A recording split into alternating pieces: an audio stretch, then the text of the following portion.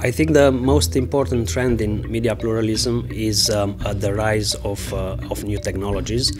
And um, we have seen uh, from the statistics that um, uh, were presented in the report that an increasing number of people are online. They are using smartphones and computers. And therefore, I think it's really important to know what is going on on, on social networks and uh, in technology companies.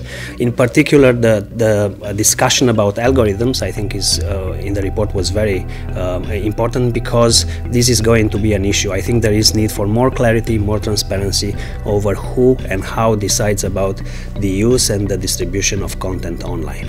There are many publications um, uh, in the world, but I think this is one of the uh, key reports that is produced independently by some of the top experts in the world on media freedom and media pluralism.